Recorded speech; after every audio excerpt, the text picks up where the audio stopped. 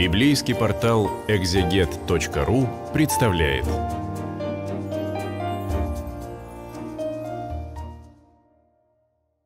Книга Бытия, первая книга Библии, первая глава этой книги, перевод российского библейского общества. Я буду читать его для библейского портала «Экзегет».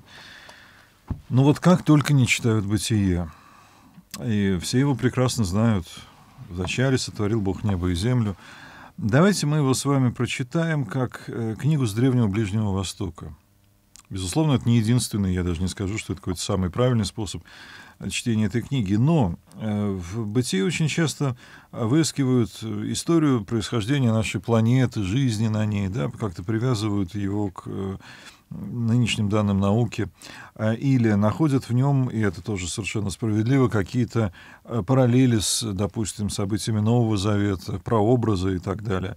Но э, ведь когда-то этот текст писался для людей, живших в совершенно другом мире – в мире древнего Ближнего Востока, где было много богов, где было много разных преданий о том, откуда взялся мир. Вообще, ну, всякая более или менее развитая мифология или религия, она отвечает на этот вопрос, откуда это все взялось. И, собственно, ответ на этот вопрос и служит э, таким вот стартом для всех остальных построений.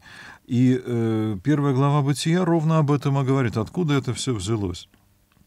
Если взглянуть на мифы которые у других народов, ну, Вавилон не так далеко, да, и э, шумерская, акадская мифология как раз оттуда, то мы там увидим очень сложные истории. То же самое у древних греков, например, борьба э, богов, новые поколения приходят, уничтожают старые.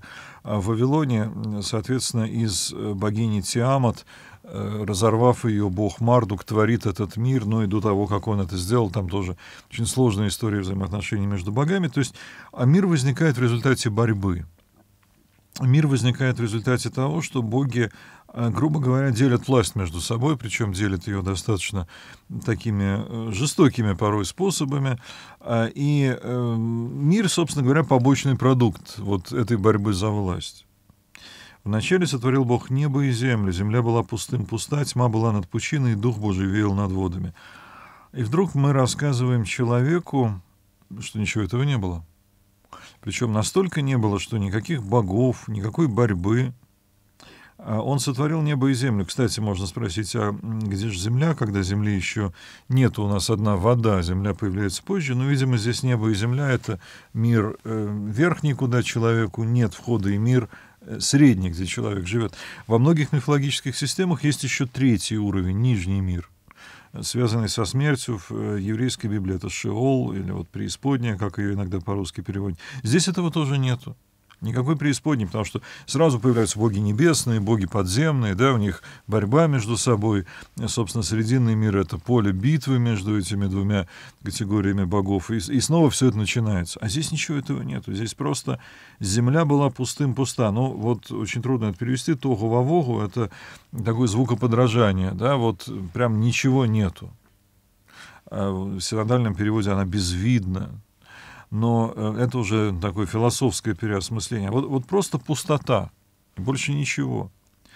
И никаких там э, отдельных божеств, никаких там сил, которые сами по себе существуют. А есть только Бог и есть Его творение. И Дух Божий веял над водами, как вот э, Его проявление. Здесь нет, конечно, еще учения о Троице, Отец, Сын, Святой Дух, но, тем не менее, Дух Божий — это тоже Бог, который Э, с одной стороны, вместе со своим творением, с другой стороны, от него отделен, не является этим творением. И все. И это удивительно, это революционно для человека Древнего Ближнего Востока. Но откуда все, все остальное? «И сказал Бог, да будет свет, и появился свет». Здесь э, в оригинале, вот эта особенность еврейского языка, по-русски так не скажешь, это почти одно и то же. «Вайомер Элохим еги ор», «вайги ор». Егиор это да будет свет. Вайгиор и стал свет. Собственно, это то же самое, только с союзом и по-еврейски ва. Получается, что э, творение это не какой-то сложный процесс, да, вот изготовления мира, не результат борьбы, а это всего лишь слово Бога. Бог говорит и повторяется то, что Он сказал, да, и это одновременно возникновение света – еще очень интересно, откуда свет? У нас э, Солнце и Луна потом только возникли. А вот, э, смотрите, в этой истории будет постоянно э, сначала возникать нечто такое как бы неоформленное само по себе, а потом оно будет оформляться. И что в этом мире прежде всего от Бога? Свет. То есть э, то, что мы уподобляем радости, э, благу, то, что мы, собственно говоря, называем Богом. Э, в православном, да и католическом тоже символе веры света от света, говорится о Христе. Э, то есть Бог это и есть свет. И вот видимый свет это некоторое его подобие в этом мире. Бог увидел, как хорош свет, и отделил его от тьмы, дал свету имя день, а тьме имя ночь.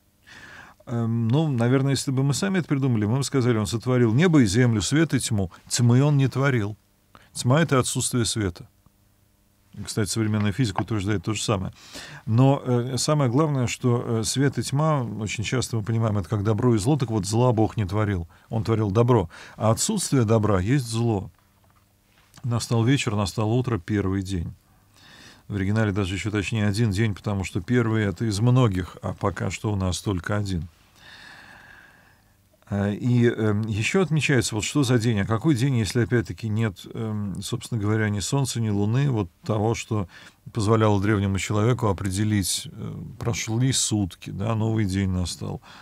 Э, но время уже существует, и, э, может быть, этот день это какой-то очень большой период времени, день Господень как тысячи лет, есть такие выражения в Псалтире. Но а, дело даже не в том, долго это или мало, а э, уже существует время.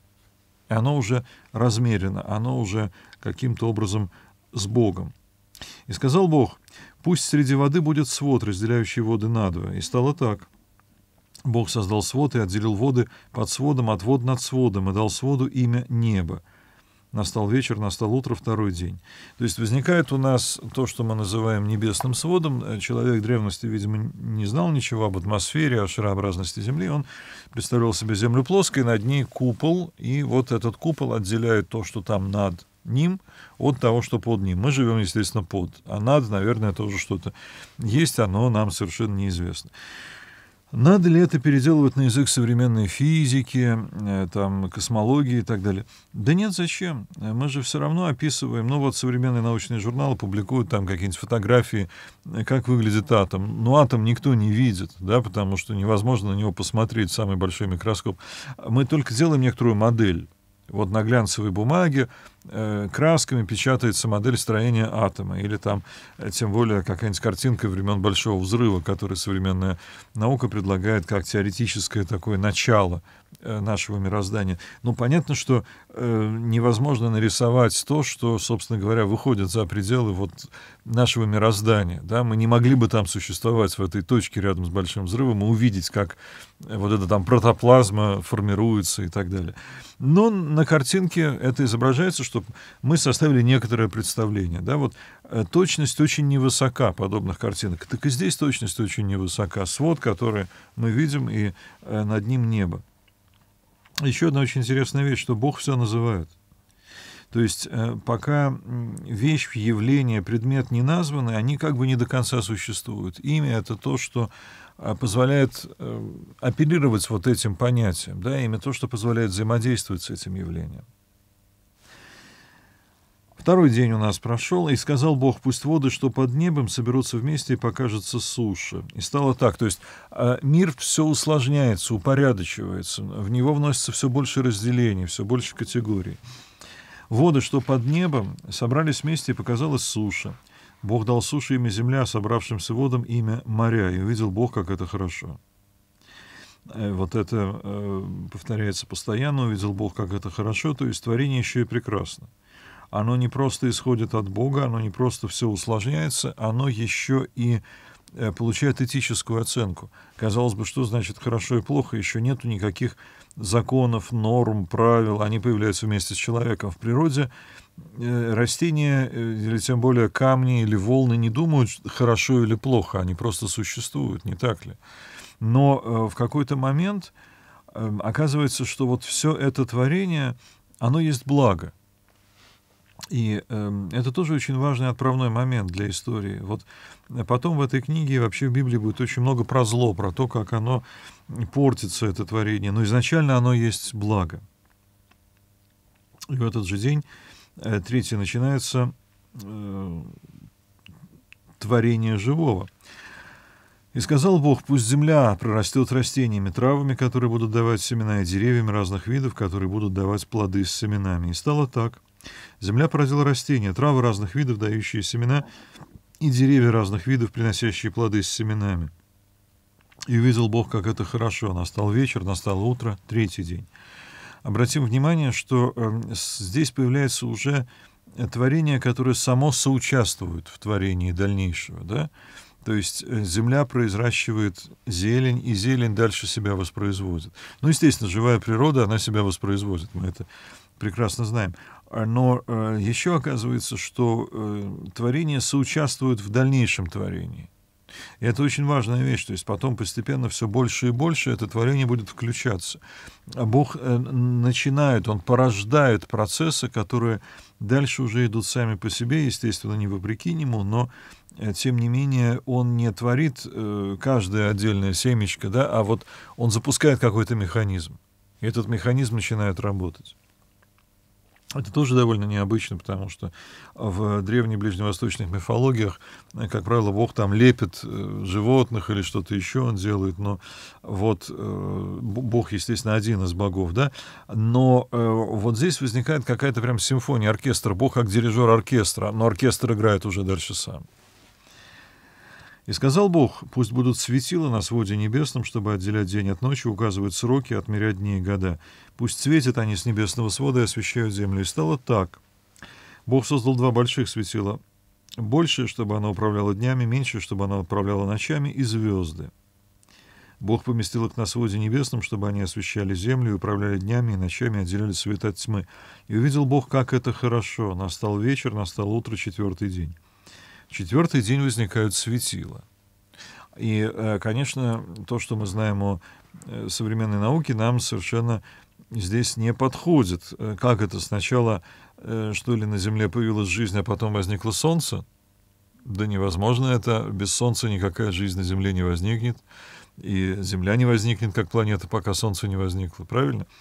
Но э, еще раз, это не современная космология, а это история о том, как возникает этот мир. Э, кто-то говорит, а это с точки зрения наблюдателя, находящегося на поверхности Земли. Там до этого, допустим, э, небо было покрыто облаками, и Солнце и Луна не были заметны. Я не знаю, так это было или не так, но я совершенно точно знаю, что здесь не попытка выстроить какой-то естественно научный рассказ. Здесь э, разговор о том, что мир постепенно становится все более сложным, все более упорядоченным, и Бог как бы возвращается к тому, что уже есть, но придает ему новый смысл. Свет и тьма уже есть, день и ночь уже есть. Они прекрасно э, себя существуют, но э, это все как бы само по себе. А вот светило, они начинают этим управлять. То есть мир творится как бы сначала немножко начерно, вот не до конца так, как он будет — а потом он э, уже начинает распределяться по своим окончательным таким местам, да, день и ночь обретают светила, которые им управляют. Более того, э, предполагается человек. Указывать сроки, отмерять дни и года. Для кого? Для растений, для животных? для воды и суши? Нет, конечно.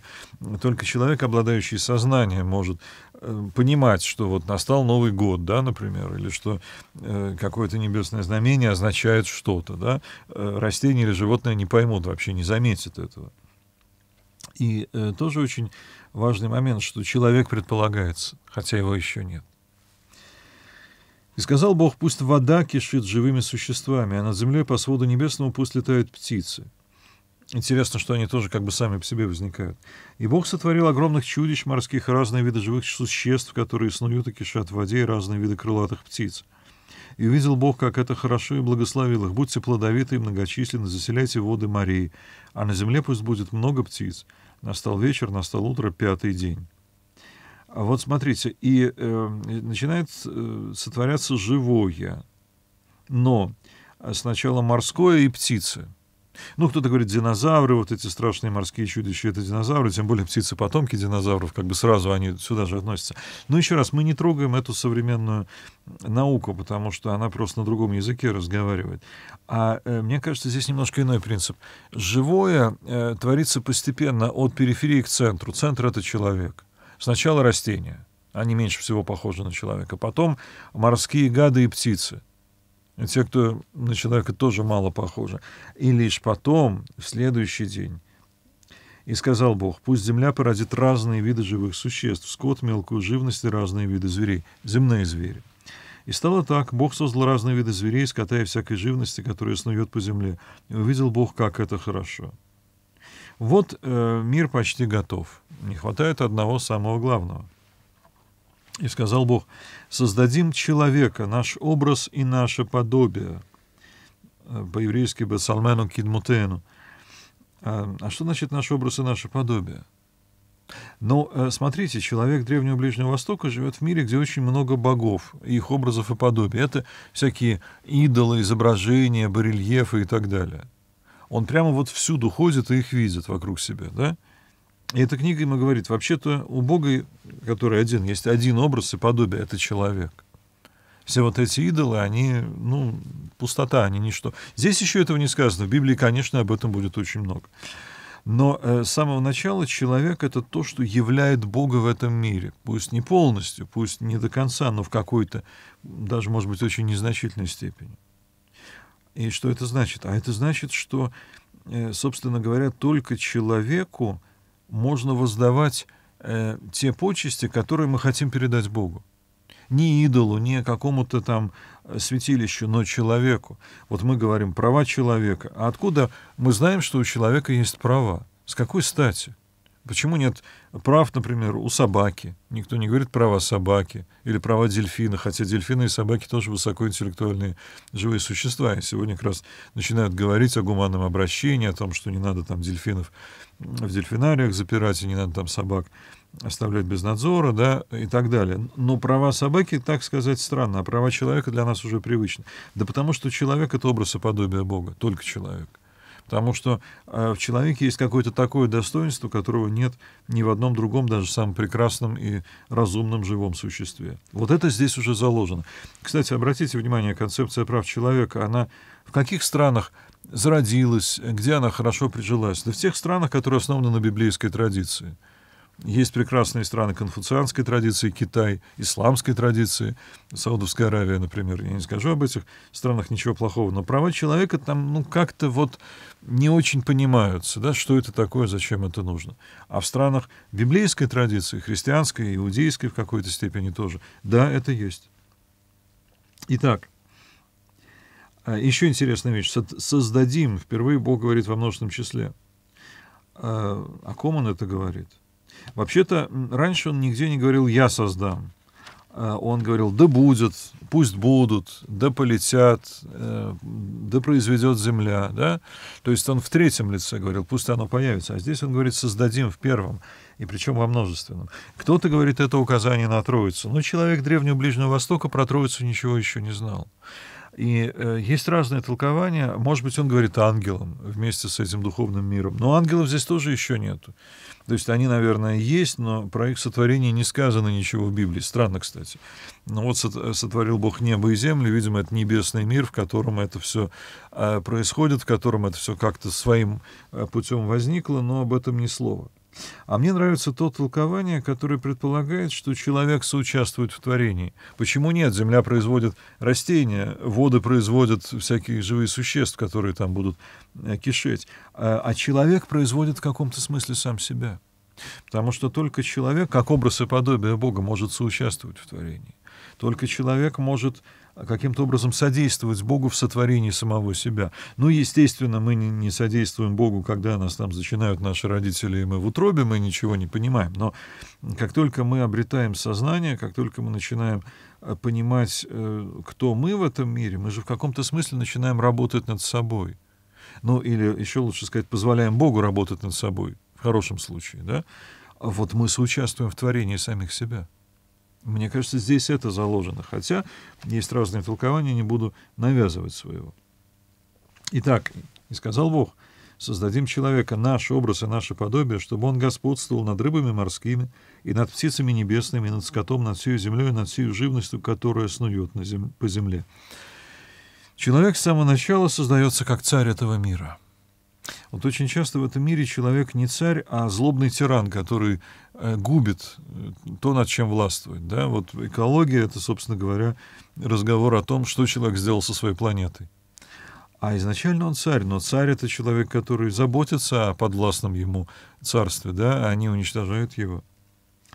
Бог сотворил человека, образ свой. Божий образ он сотворил, мужчину и женщину сотворил. Такая формула трехчастная. Бог сотворил человека, но это понятно, это уже, собственно, было. Образ свой, Божий образ он сотворил. Еще раз, еще раз, это образ Бога. Это не просто еще одно живое существо, пусть очень умное, но оно занимает в этом мире какое-то совершенно особое место. И мы не очень понимаем, какое. Но э, это место в чем-то подобно месту Бога. И дальше мужчину и женщину сотворил. Мы вернемся ко второму, во второй главе к этому вопросу о мужчине и женщине. Но с самого начала человечество — это мужчина и женщина. А с самого начала человек — это два — да, вот тоже интересно, почему человек это два? Э, вот потому что мужчины и женщины равны, потому что мужчины и женщины по сути своей это э, даже один человек, можно сказать так, что вот это единство двух полов, оно не случайно. И благословил их Бог такими словами. «Будьте плодовиты и многочисленны, заселяйте землю и покоряйте ее». Повторяется то, что сказано животным, э, «Будьте плодовиты и многочисленны, но, кроме того, покоряйте землю». Господствуйте над рыбами морскими, и над птицами небесными, и над всеми животными земли. И сказал Бог, я отдаю вам в пищу все травы с семенами, какие есть на земле, и все деревья, приносящие плоды с семенами. А зверям земным и птицам небесным и живности земной всем, в ком дышит жизнь, я отдаю в пищу зелень растений. То есть здесь еще нет хищничества, что странно, современная наука, конечно, утверждает, что хищничество возникло очень рано, э, где-то еще там на уровне каких-то простейших животных, да, они там друг друга кушали, от этого развивались, эволюционировали. Но это не учебник по эволюционной биологии, абсолютно нет. А это история про мир, где никто никого не ест. Как нам понимать этот мир? Как далекая прошлая планета Земля, где уже есть человек, но еще никто никого не ест. Но ну, нам трудно себе это представить. Или некий прекрасный мир, где нет необходимости никого есть, потому что, э, собственно говоря, и так все как-то живут. Тогда это не земля, в которой мы, э, на которой мы живем, это какая-то другая земля, какой-то другой прекрасный мир. Э, есть такое толкование, и, пожалуй, если мы хотим это принять буквально, то нам придется его принять тоже, да, то есть это вот некий иной чудесный мир. И стало так. Бог оглядел свое творение, все оно было очень хорошо очень хорошо, важный момент, да, то есть до сих пор все было просто хорошо, но человек это завершающая э, черта, которая делает этот мир совершенным, очень хорошим. Грехопадения пока не было. В этом мире все идет так, как оно должно идти. В этом мире нет зла, есть только отсутствие добра. Зло, к сожалению, появится, об этом мы еще прочитаем. И настал вечер, и настало утро, шестой день.